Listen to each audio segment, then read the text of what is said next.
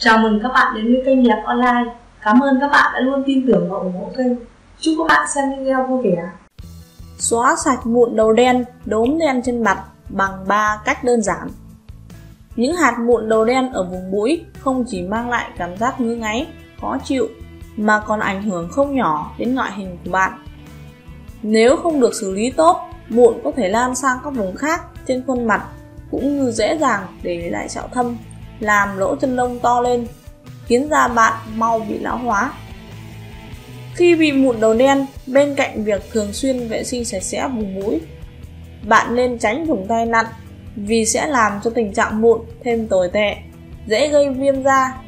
Không cần dùng mỹ phẩm, thuốc đặc trị hay là đến spa, bạn vẫn có thể đánh bay những nốt mụn đầu đen đáng ghét ở vùng mũi bằng các nguyên liệu sẵn có tại nhà và ngay sau đây, Đẹp Online sẽ hướng dẫn tới các bạn ba cách trị mụn đậu đen, đốm đen tại nhà. Các bạn cùng tham khảo ngay bây giờ nhé. Cách thứ nhất, loại bỏ mụn đầu đen bằng cà chua. Cà chua là thành phần phổ biến nhất mà bạn dễ dàng tìm thấy trong nhà bếp. Nó có chứa nhiều chất có lợi cho da, giúp da loại bỏ mụn đầu đen, đốm đen rất tốt. Với quả cà chua này thì bạn hãy sử dụng một phần nước cốt của cà chua nhé. Và để thu được phần nước cốt cà chua, bạn hãy cắt nhỏ cà chua và cho vào một cối xay.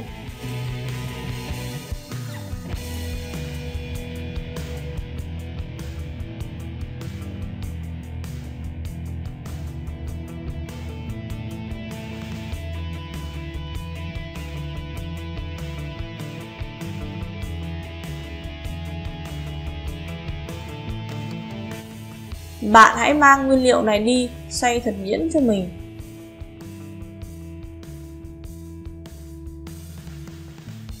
Và đây chính là phần cà chua đã được xay nhuyễn.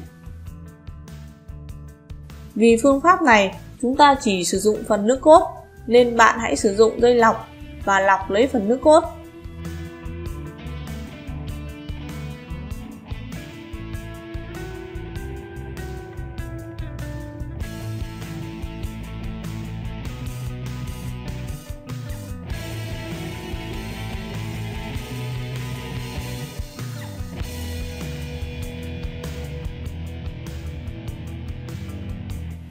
Và đây chính là phần nước cốt của quả chua mà chúng ta thu được. Với bát nước cốt cà chua này thì cách sử dụng như sau. Bạn hãy dùng bông tẩy trang thấm vào nước cà chua.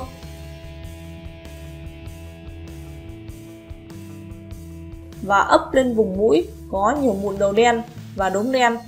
Sau đó, bạn để qua đêm. Sáng hôm sau, bạn rửa sạch với nước ấm là xong.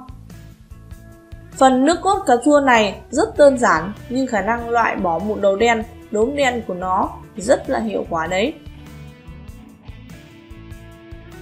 Cách thứ hai, loại bỏ mụn đầu đen bằng chanh tươi và bột yến mạch. Nguyên liệu các bạn cần chuẩn bị ở cách thứ hai này như sau. Thứ nhất là bột yến mạch. Bột yến mạch không chỉ là loại thực phẩm có giá trị dinh dưỡng cao, mà bột yến mạch còn chứa thành phần giúp xoa dịu và giảm viêm da do mụn cùng với các vitamin nhóm B và các khoáng chất khác.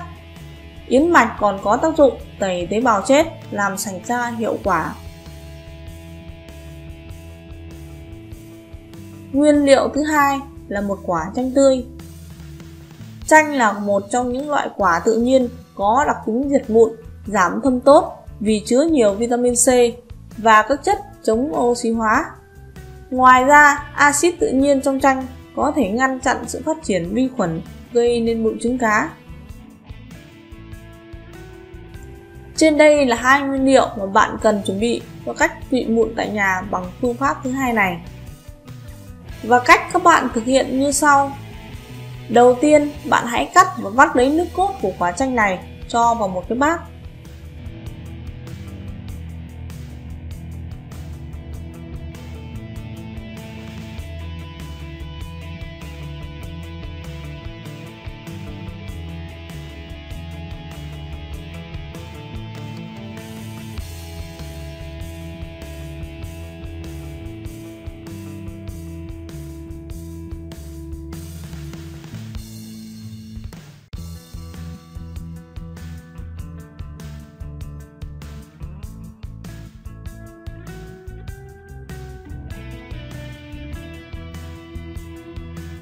Đây chính là phần nước cốt quả chanh mà chúng ta thu được.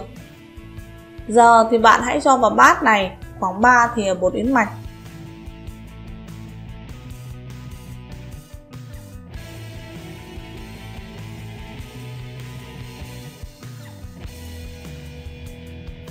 Sau đó chúng ta đảo đều cho bột yến mạch của chúng ta ngấm vào nước chanh và mềm ra, tạo thành hỗn hợp sền sệt.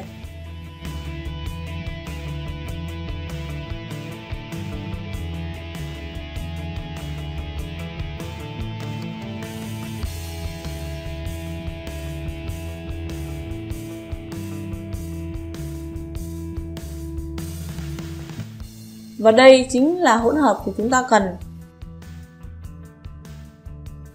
Với bát hỗn hợp này, cách các bạn sử dụng như sau. Bạn hãy chuẩn bị một bông tẩy trang.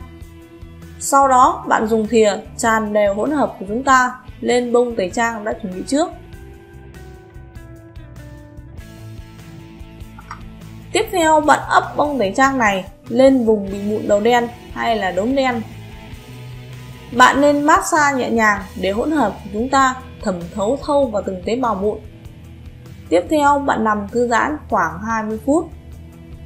Và khi mà hỗn hợp của chúng ta đã khô lại, thì bạn hãy lột bông tẩy trang ra một cách nhẹ nhàng và sau đó bạn rửa lại mặt sạch với nước lạnh.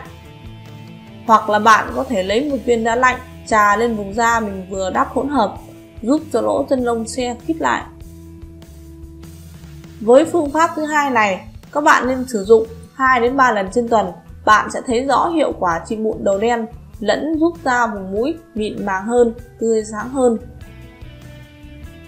Tiếp theo chúng ta hãy đến với cách thứ ba, loại bỏ mụn đầu đen bằng bột gạo và mật ong.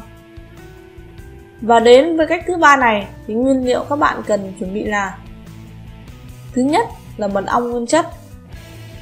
Bạn nên dùng loại mật ong nguyên chất để đem lại hiệu quả cao. Thứ hai là bột gạo. Như các bạn cũng biết, trong bột gạo có chứa nhiều vitamin B và các khoáng chất đồng, sắt. Nguyên liệu này sẽ giúp bạn trị mụn hiệu quả, đồng thời hỗ trợ quá trình tái tạo ra, giảm thâm nám và viêm tấy. Với hai nguyên liệu là bột gạo và mật ong thì cách các bạn thực hiện như sau. Đầu tiên, bạn hãy chuẩn bị cho mình một cái bát sạch. Bạn cho vào bát khoảng 3 thìa bột gạo.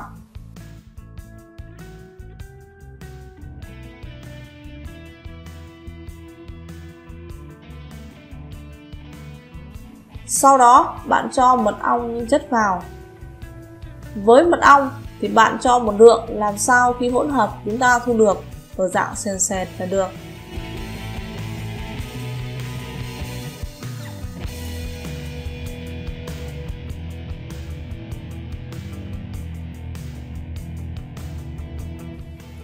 Và công việc của bạn bây giờ là đánh thật đều tay cho các nguyên liệu của chúng ta, hòa quyện với nhau thành một hỗn hợp đồng nhất là được.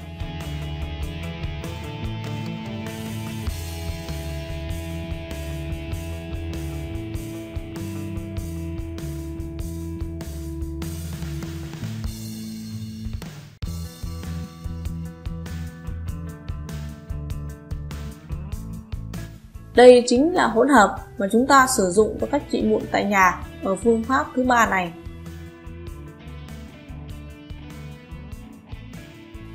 Và cách các bạn sử dụng hỗn hợp này như sau. Với bát hỗn hợp này thì cách sử dụng tương tự như cách ở phương pháp thứ hai.